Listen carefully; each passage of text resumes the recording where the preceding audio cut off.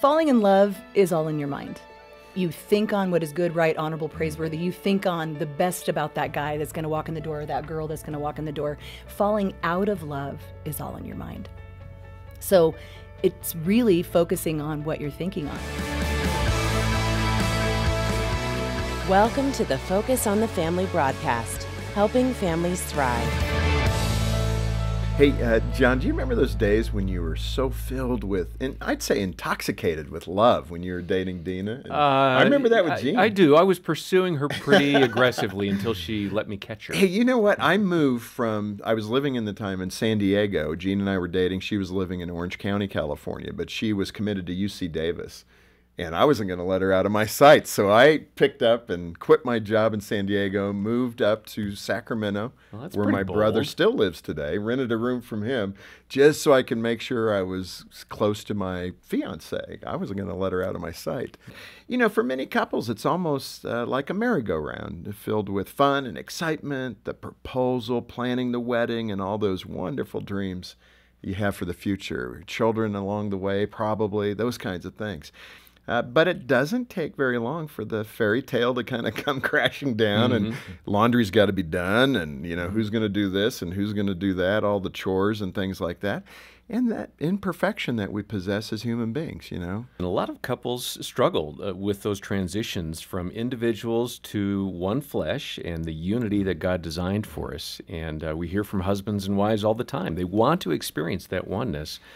Uh, it's not a crisis situation. It's just a really hard time for them, and they don't know what to do. Then listen into the radio program today. We have a, tremendous uh, opportunity for you to learn here. That's for sure. For more than 30 years, the Stoppes have been mentoring married couples through their church, their speaking ministry, and the writing they've done on the very topic of marriage. Uh, together, they've written a book we'll hear more about today called The Marriage Mentor Becoming the Couple You Long to Be. Steve and Rhonda, welcome to Focus. Thanks. Oh, thank you very much. She's very happy. Well, I'm looking forward to this. She is quite happy. Yeah, so I want to know what's the secret sauce? It's Why are you so happy? I Coffee? make her happy. No, it can't be that. Come on. That's biblical. Come I'm on. going to ask you that question. I'm serious. What What is it? You know, honestly, it's not my bent to be so happy. It's not who I would have been if when we first got married.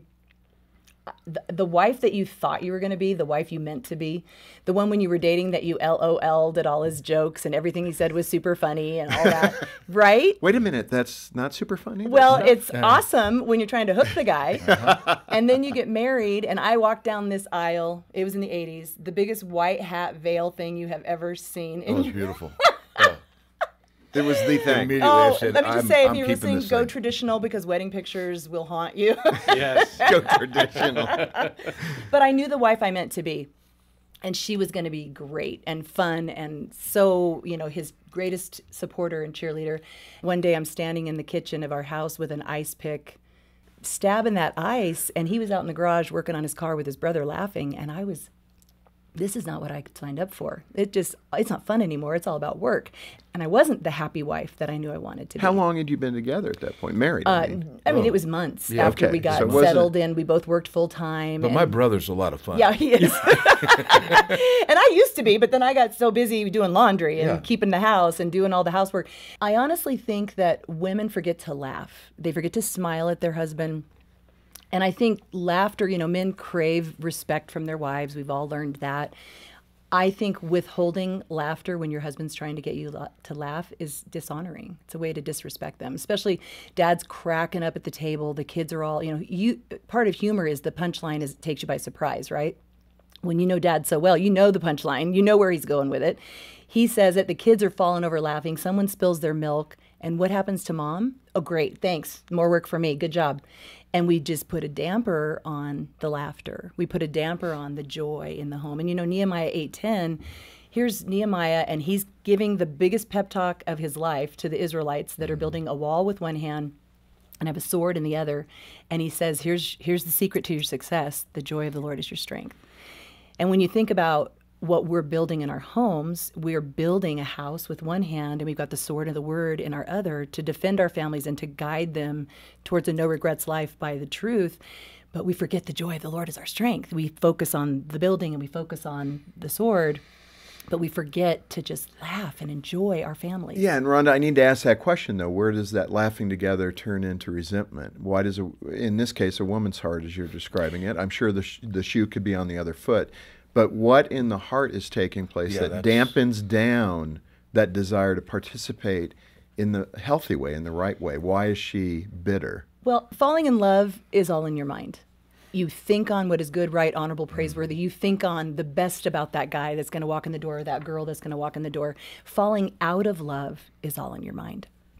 So it's really focusing on what you're thinking on. And the day that I was like ice pick in the freezer, I scared myself because I, I come from a long line of broken marriages hmm. and I I know I've watched it lived out and I've seen the danger when you stop thinking the best about your spouse. And I knew I needed help. So that's when I was like, I want to find wives that enjoy their husbands and I and one of the stories that I tell in the Marriage Mentor that is one of my favorite stories. Um, I've been a pastor's wife. We've been in ministry for 36 years. He's been a senior pastor for 18. And when we moved back to California, I went to a minister's wives retreat. And I wanted to meet older pastors' wives that loved being a pastor's wife because it's a hard job and people don't get it. I mean, it's Right. Expectations, mm-hmm. everything. Right. Mm-hmm. And I wanted to love it. And I wanted to raise PKs that are okay. And I wanted to see how it was done. And Titus 2 calls the older women to teach the younger how to love their husbands and love their children. And I'm like, I want an old lady to be my friend. And I went to this retreat, and there was a woman named Vi that I just, this adorable little woman. She was married for 40 plus years to her pastor husband, just loved being in ministry and I went to this retreat year after year. In fact, I'm speaking at that retreat this year. And we both have a heart for ministry couples. We have a, a ministry that we work with couples that are in trouble because Satan attacks marriages of ministry Oh, families. yes. So I attached myself to this precious woman. Well, her husband came down with cancer. And one year, uh, she came back to the retreat after he had passed away. And she told this story. She said, after 45 years of marriage, and being in ministry together, Kurt on his last day was laying on the couch and he'd been incoherent. And then he woke up and he looked at her and he said, Vi, am I dying? And Vi said, she said, Yes, Kurt, you're dying. And then she gathered her joy, and she was this adorable, joyful little woman. And she said, But Kurt, you're going to see Jesus today. What is the first thing you're going to tell Jesus when you see him today? And she said, Kurt closed his eyes. And then he got a big old smile on his face and he looked at her and he said, I'm going to thank him for giving me you. Oh, man. Right? I cry every yeah. time I tell my story. It's like And- a movie scene. Mm-hmm. and the truth of it is, we all want to be that wife. And whenever I tell that at a women's event or a marriage conference that we're doing, and I say, Are you the wife you meant to be? And then I tell that story, the tears fall because we know the wife we mean to be, but life gets busy. We don't take the time to build the marriage that we really hoped for. We don't find godly mentors. And really having the joy of the Lord and having your wife, your husband want to spend time with you because you bring joy, a happy heart. But in that context, when you say staying in love is really all in our mind as women, as wives, I, I'm thinking of the woman listening right now, and, and she feels like there's uh, these magnetic poles at either end. I can either respond with joy, but that's becoming more and more difficult. Or it's been years since I've cho- chosen to respond that way. So, speak to that mechanism of why we tend to fall toward the negative, what keeps us there, and why, why do we find pleasure in being negative? Our marriages are the most valuable resource we have to draw others to want to know our Savior, beginning with our children. And Satan knows that. And we wrestle not against flesh and blood, but against principalities of darkness that comes to steal, kill, and destroy a happy marriage, a joyful marriage that will shine brightly what did Jesus say? Let your light shine before men that they'll see your good works and glorify your Father in heaven. We focus on the good works, but remember, Jesus said in Mark chapter 12, love the Lord with all your heart, soul, mind, and strength. That's your whole being. And then when we love him like that, then he loves through us properly so we can love others with Christ's selfless love. So I know you're listening, you're going, okay, she just spiritualized the whole thing. I need some real practical, what do I do about this? And in all the years that we've been in ministry, we have watched when uh, a woman will just say, okay, my husband is not who he pretended to be when we were dating he's harsh he's controlling he doesn't take the garbage out he's you know neglectful whatever that thing is He's not meeting your he's not expectations. right an unmet expectation is the number one disappointment in marriage and then we start dwelling on that and uh, i have memorized philippians chapter 4 because when i went for those mentors to help me They invited me to a Bible study and they took me through the book of Philippians. What's the essence of it? Uh, whatever is good. Oh, be anxious for nothing, but in everything with prayer, supplication, thanksgiving, let your requests be made known to God. And then the peace that surpasses all understanding will rule in your hearts and minds in Christ Jesus. We want peace, but resentful thoughts, that root of bitterness that becomes from that resentful thought that turns to a root of bitterness that defiles many, defiles our marriage, it defiles our children. And we can't even pray effectively because the prayer of a righteous avails much. But when we're walking in resentment, we're handing over our powerful prayer life for God to even change my husband, mm. for God to even change my heart, for God to draw my kids to Christ. I'm exchanging that for dwelling on that. But it does come natural to dwell on what doesn't measure up to our expectations. Mm. So it's repenting. It's a sin, calling it a sin, finding someone that will help you walk in that way. I, I know a woman, and I tell her story in the marriage mentor. Her husband was not measuring up to her expectations. She felt imprisoned by a marriage that was not what she had hoped. And when she finally decided, I'm miserable and I'm making everybody around me miserable, and I can't do anything about that person I'm married to, I can only let God change my heart. And as she repented of that resentment, asked, you know, godly mentors to come into her life and asked God to help her think on what is good, right, honorable, and praiseworthy, uh, she said, I don't know, I don't know how to explain it, but I just love my husband. And here's the best part of that story. She's raised some amazing children that love Christ. And she said, "You know, I know other people would have left that hard, difficult marriage, and not I'm not talking about abuse. I'm just talking about not what you'd hoped." right. But she said, I've seen kids raised in really great Christian homes that walk away from the Lord. And her kids have grown up and followed Christ. And she said, You know, God let Joseph be sold by his brothers into slavery to prepare him for his ministry. And she said, If this is what I had to live through so God could do a work in my kids to draw them to follow Christ, and listen to this, I'd do it again. Right. I do it again. Mm. And I think of Philippians chapter 1 when Paul said, I want you to know, my brothers, what has happened to me has really served to advance the gospel, for it's become known throughout the whole imperial guard and all the rest. My imprisonment is for Christ. Hmm. Sometimes our imprisonment in a difficult marriage shines more brightly Christ's love to our kids than when everything's honky dory. Right. So it's getting out of yourself and saying, God, I will live whatever you call me to live with my eyes fixed on Jesus, the author and finisher of my faith. Is it easy? No. Are there days you want more? Yes. But press into God, and His joy will be your strength. Right. Well, some great encouragement today from Rhonda Stoppe, and uh, she and her husband Steve are with us today on Focus on the Family. Your host is Jim Daly. I'm John Fuller, and you can get the book that Rhonda's referred to, The Marriage Mentor, and a CD or download of our conversation at focusonthefamily.com slash broadcast, or call 1-800, the letter A in the word family. Steve, we, we can't let guys off the hook here. I mean, you came as a couple to talk about this. I know that the book is aimed toward a woman's heart, and I appreciate that. But I know some women are listening and they're saying, that's all true, but you don't know my husband. Whatever might be the friction point there. And everybody's trying in, in their faith to do this well, uh, but some people have greater degrees of irritation. They, they may not have been able to cope with some childhood issues that they need to, all those things. But let's not, not let the guys off the hook here, Steve. You're you're the man here. You're the pastor. Talk about the responsibility that men have in their difficult marriages and what they need to do. It's not about just saying, "Hey, my wife needs to do things differently." we always uh, focus on a couple things. Number one, the covenant of marriage.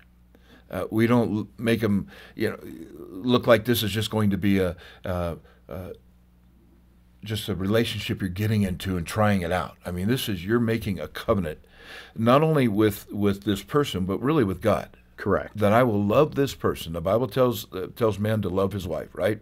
Doesn't tell him uh, to respect her. It tells him to love her, love her properly. Um, well, why is that? Well, it's because the hardest thing for a man to do is to love his wife properly, right?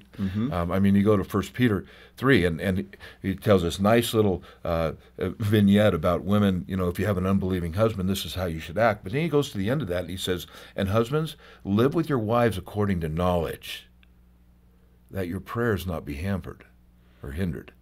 And so it's like for the guy who goes, well, I'm just not going to, you know, she's hard to live with. I don't want to put up with her stuff. She's just, you know, I'm just going to recluse in my little garage and just my own business.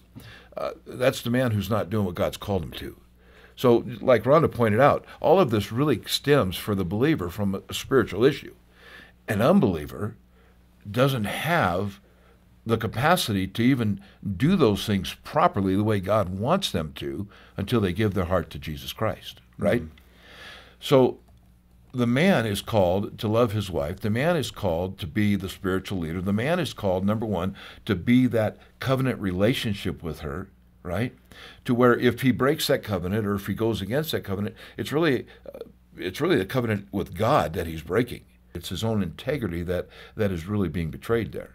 Um, and so, so we have a great responsibility to be the men that that God has called us to. We've got a great responsibility to be those spiritual leaders of our family. We we've got a great responsibility to live with our wives according to knowledge, understanding them, go to school on them, know what makes them tick.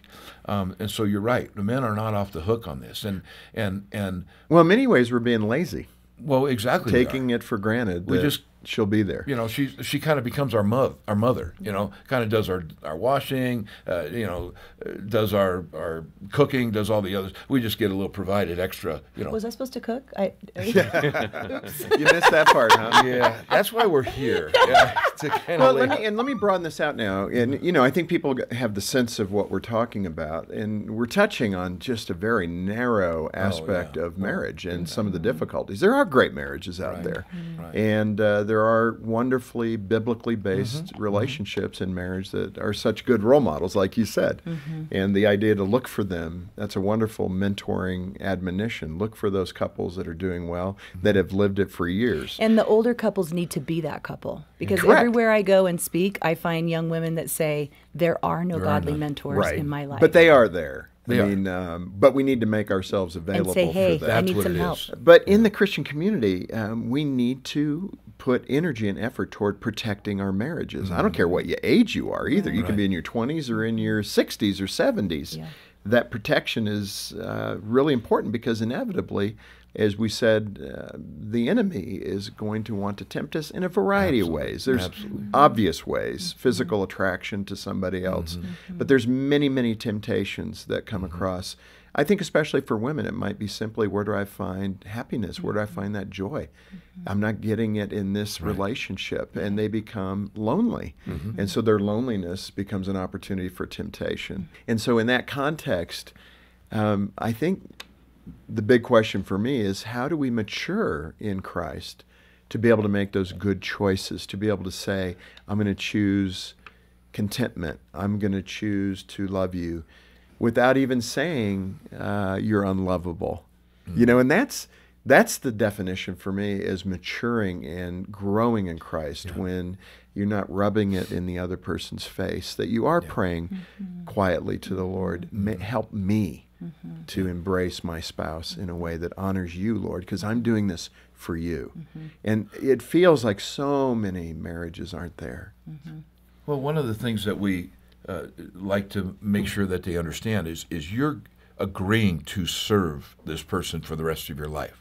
Right? And when you're engaged and we're doing premarital counseling, they're like, uh huh, uh huh, uh huh. Oh, and yeah. after they come back for counseling, they're going, uh uh, uh uh. That's the difference. right? I mean, Christ served us, yes, yes, went to the cross, died on the cross for our sins, paid the penalty of our sins t- to give us not only forgiveness of sins, but life eternal, right? Yes. I mean, rose again, you know, we know the, the whole thing.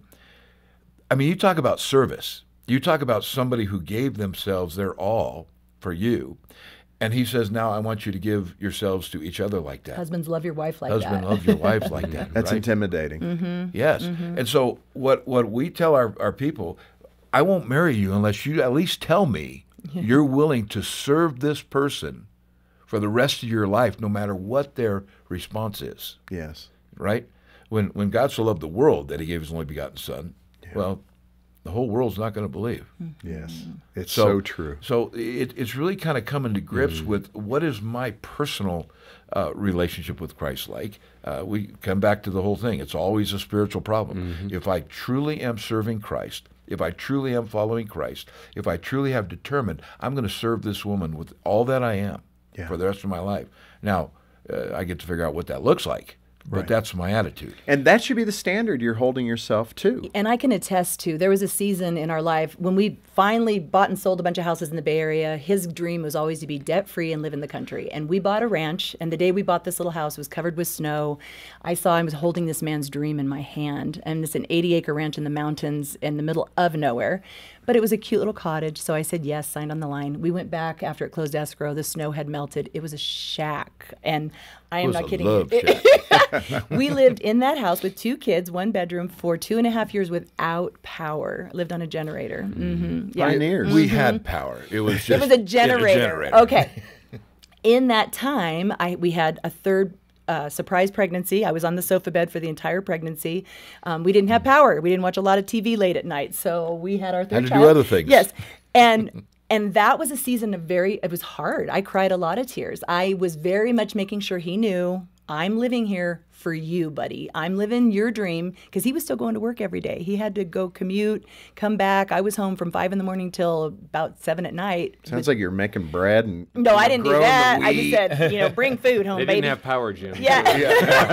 oh, that's right. Kneading And it. then I, I had her a this. fire with an oven. fire. Yeah, yeah, yeah. then I had this baby, and then I had postpartum, and I had never had it before. Oh, and you're out in the middle of nowhere. in the middle of oh. nowhere, no support. And then I had after after I was done nursing her, I was left with really bad PMS. And I was not myself. And so what this man is talking about, he had to live it at a season that was a very dark time for me where I knew I wasn't the wife I wanted to be. I knew the thoughts I was having and the emotions I was sensing weren't what I wanted to dwell on, but I promise you, I was in my room fighting it as a spiritual battle. On, I mean, not in my room, in the only room in the house, the kid's mm. bedroom. He came in one day. I had a door, a chair in front of the door. My six year old was holding the newborn. The two year old was watching Little Mermaid for the 100th time. And he walks in, and I heard panic in his voice Where's your mother? And I was in there just sobbing on the bottom bunk of the bed and just like, I can't do this. I'm just overwhelmed. And his choice to stay in it, you know, and I always tell women that are single when you're looking for Mr. Right, make sure you find somebody that loves Jesus more than he loves you. Right, because you don't know the season of unlovableness you might need him to choose to love you with that agape love that that only a, a believer can muster. And and I uh, was telling him he's like i don't know you i've known you since you were 14 year old you are not yourself and i'm like i know and we had watched years ago Gary Smalley's video series, Hidden Keys to Loving Relationships. Correct. And so one of the things that Gary talks about is well, he talks about two things camping. And, Yeah, right. and the positive mm-hmm. thing about camping is the tragedies that happen and how it bonds you together. Well, all of our remodeling and living, that really did happen. Everything that goes mm-hmm. wrong, the pipes break, you're without water, it, it does knit you together or it pulls you apart. You have a choice Right, to right. make. Hardship. Uh huh. But I, I said to him, okay, I'm gonna. The other thing that Gary Smalley said was word pictures. People relate when you give them a word picture that they can feel something. So I said, imagine if you were a werewolf and every 28 days you were going to turn into a werewolf and you were going to eat your young, you were going to eat anyone near you. The only hope you had was that someone would lock you in a cage until the full moon passes and you were yourself again. That's PMS. And I hmm. literally saw a light bulb on the top of his head. He was like, I get it. I get it. And he stepped up to the plate he took those kids out. We have so many outbuildings and, and chicken coops and horse barns because he's like, come on, kids, we're going to go build something. And just let me have that little house to myself during those really difficult seasons. right. Uh, and that was the turning point. Well, that was the beginning of at least me being able to have, Right. I had nowhere to be by myself even. And Right. so having that just to kind of, you know, the, the best thing I could do is the fruit of the Spirit is love, joy, peace, gentleness, patience, self control. The only fruit on my vine at that time was self control. I could not let the words from my brain to my mouth come out of my mouth. Right. And as long as I held my tongue and just got through it, uh, it was just a really hard season. And uh, if you are, are having, it's a physical, it's a physical thing. I finally went to an endocrinologist, and she's like, "You have brain damage. It's something really wrong with you." And I really needed someone to tell me that. And I meet women all the time that are like, it's always this, the pretty angel faced ladies in the audience that are like, that's me. I'm like, come talk to me, sweetheart. Yes. because it's a, you don't expect it and your husband doesn't expect it. Right. And then when you're being loved with that kind of love, your kids see it and it Well, shines you brightly for I mean, this is really the right stuff. And Marriage Mentor, a wonderful book that you've both uh, written uh, to help couples uh, recognize these things and to change the pattern in their marriage, which uh, I think most marriages need, if not all marriages need that kind of attention. And this has been packed with uh, helpful ideas on how to kind of climb out of that hole you might be in if uh, you have bitterness and resentment in your relationship. This is perfect. This is the ladder that God can use to help you pull out of that. Thank you for your stories, for your encouragement, and being with us today. This is great stuff. So thank you for being with us. Thank you. it's our pleasure. Hey, I'm John Fuller, and thanks for watching. Get more info about Focus over here and more from our guests over there, and be sure to subscribe to our channel as well.